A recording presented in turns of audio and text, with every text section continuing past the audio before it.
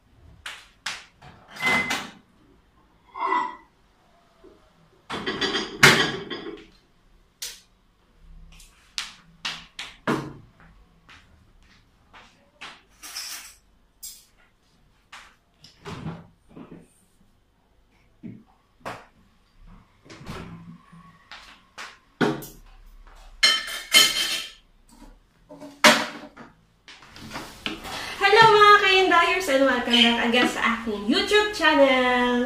So, yun mga kaindayers, kamusta kayo? So, sana stay safe pa rin kayo. Stay at home kung wala namang pupuntahan. Ano? So, hapon na. Oo, hapon na nga. Hapon na nagising at ang laki pa rin ng aibag, inday. But anyway, ito, um, lunch ko ngayon is uh, kabuli, beef kabuli. Oo.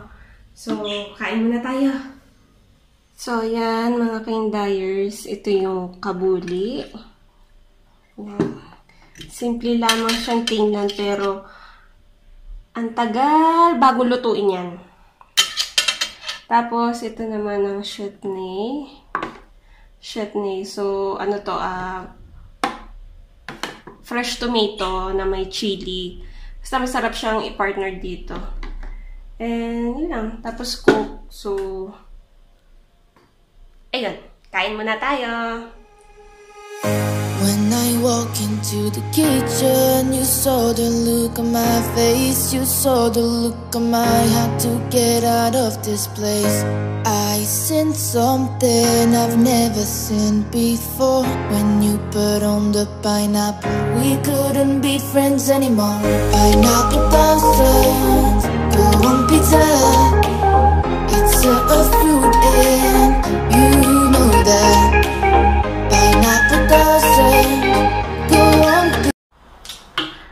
Ayun.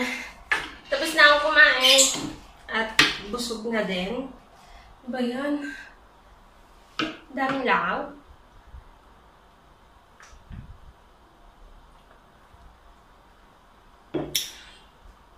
Sarap ulit matulog. Well, yun. Dilis muna ako ng aking pinagkainan. Tapos, maglilinis din ako dito sa bahay. And, yun. Dilinis mo na ako. Ayan, mga kandayers. At natapos ko na linisin ko dito sa sa maliit kong ah, bahay. So, at napaliguan ko na din ang aking dalawang alaga. Ayan. Si Coco and Chanel. Ayan. Hi! Tit, tit, tit, tit. So, yun. Paliguan ko na sila. And then, pumunta tayo sa aking munting garden. So, simula nung nag-lockdown is naisipan ko ng magtanim-tanim dito. Kasi meron akong space. Maliit lang naman ang space ko dito. Yan. So, ang ginawa ko, nagtanim ako dito. Kasi may space naman, sayang din naman, di ba? So, meron tayo dito, ano, pakita ko sa inyo. So, ayan. So, meron tayo dito uh, malunggay. At meron din tayong, anong tawag dito? Nakalimutan ko ng tawag dyan. Tapos, meron tayo ditong sili. Tapos, meron tayo dito ng lemongrass. Ayan. So, diba? Hindi na para tayo bumili sa supermarket. So, meron din tayo dito ah talong. So, yan. And then, meron din dito, ano, ah, spring onion. So, yan, sibuyas. So, sibuyas na siya, mga kaindayers, ha. Tapos, Ang, kasi yung sibuyas ko, nilalagay ko lamang siya sa, sa ref. So, pag yung natagalan na siya ng stock doon, lamigan, nagkakaugat na siya, tapos tinutubuan na siya nito. So, after nun, inalis ko siya sa ref, and then ibinababad ko siya ng 2 to 3 days sa tubig, yung ugat niya do sa ilalim. And then, tapos yan, inilalagay ko na siya, itinatanim ko na siya dito. So, ayun siya. Ito, paubos na. Ubus na. Tuyo na siya. So, ang dami ng dami niya nun eh. So, may bago ulit tayo. And then, meron tayo dito tomato. Yan. So, bigay lang din to sa akin. And then, meron tayo dito patubuing. Kung nakikita nyo itong puting yan. Yan. Yan pa lang siya nasibol. So, ano to? Um, garlic. So, may garlic tayo dito. And then, meron tayo dito patatas. so, may potato din tayo dito.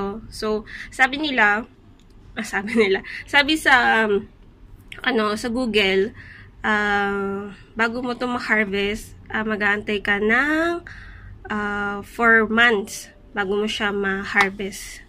So, hanggang habang siya nataas, so padagdag ng padagdag tayo dito ng lupa. Hanggang after 4 uh, months. So, yun. Ma-harvest natin siya is sa January pa. So, dito naman is, ayan, halaman. Tapos ito, halaman din. Yan. Aloe vera. Tapos, halaman din. Yan lang. So, yun na nga mga kaindayers. Uh, gusto ko lang sa inyong i-share ang ito, ito, ito, itong mga pinagkakagawa ko ngayong pandemic. So, ito yung resulta sa akin. Kasi hindi nga tayo makalabas lagi. Kung makalabas man tayo is um, hindi yun talagang galang-gala pag may importante ka. Siyempre, nag-iingat, ba? So, ito yung resulta sa akin ng pandemic. And then, tsaka nakatulong na rin sa akin kasi hindi ko na kailangan pa pumunta sa tindahan, di ba? So, ba, kailangan ko ng uh, lemongrass or uh, ng uh, dahon ng sibuyas. So, ayun, meron na ako dito. And yan, may patubuin pa tayo dito ng tomato. So, ito yung nagawa sa akin, di ba? Tsaka, hindi, hindi naman natin talaga kailangan ng malaking space para makapagtanim tayo. So, basta na merong tamang uh, para mahanginan or uh, tsaka na maarawan yung halaman natin, go tayo, di ba? Tapos, uh, kahit maliit na space lamang. So, sabi nga nila, pag gusto, may paraan, di ba? So, gagat gagawa ka ng paraan. So, ito yung ito yung sa akin. So, sa inyo, ano resulta sa inyo ng pandemic? Sige nga, comment down below so, ayun, gusto ko lang siya i-share ito. And nakakawala na nakakawala rin ito sa akin ng ano eh, ng pagod pag dati pagkarating ko dito sa bahay. So, iyan. Diba? Tapos paggising sa umaga, didiligan ko sila. So, iyan. Okay, mga kindayers. So, gagawa tayo na, ah, magluluto tayo ng mandi So, chicken mandi. So, nakapag, uh, wait. Kapag uh, babad na ako ng uh, chicken sa, uh, ano to, uh, parang uh, food color na red and orange, tapos uh, konting uh, salt. So, gagawin natin is, um, lalagay natin to So, meron tayong dahon ng laurel. And uh, mga hell. Tapos sa cloves. So, lalagay lang natin dito.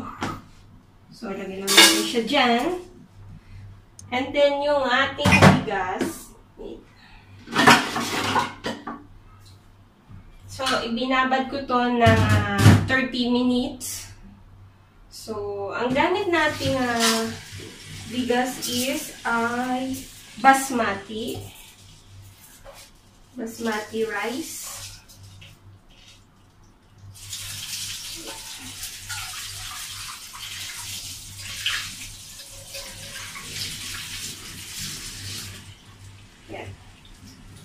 So, tinanggalan natin yung tubig. So, ilalagay na natin. Lapit ko kayo para makita nyo. So, yan. Ito mga kainars, nilagay na natin yung ating mga kailangan. So, meron tayong coriander. Yun yung maliliit. Tapos, hell. And, ito. Tapos, ilagay na natin yung ating basmati rice. So, malinis ang kamay ko ah. So, ilagay lang natin siya dito. Then, yan. Then, tapos yan, lalagyan natin siya ng tubig. So, maglalagay ako ng uh, two and a half cups of water.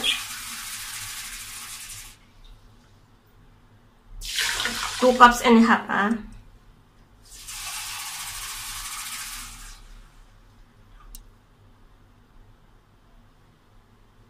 Okay.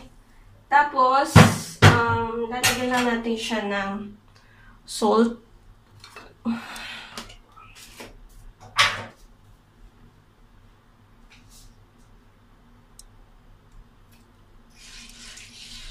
Yan, nalagyan natin siya ng salt. Ngayon, uh, i-cover naman natin siya ng aluminum foil.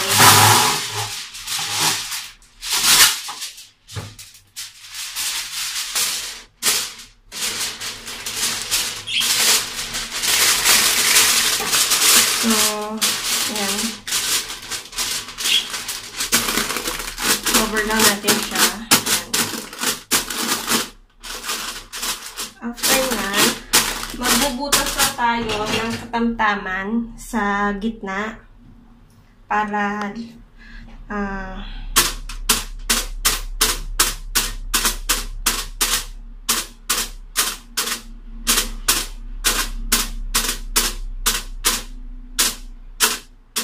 yan.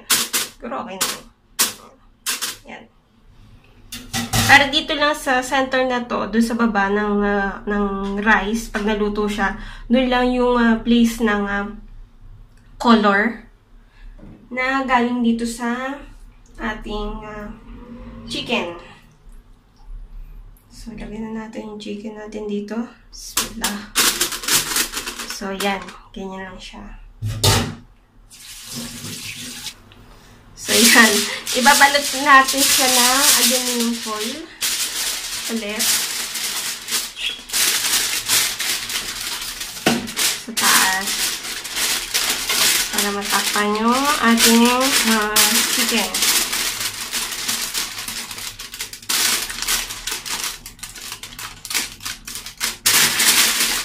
So, after nito, lalagyan na natin siya sa oven and preheat natin siya na 1 and a half hours. And after nun, tingnan na natin kung luto na siya. Okay?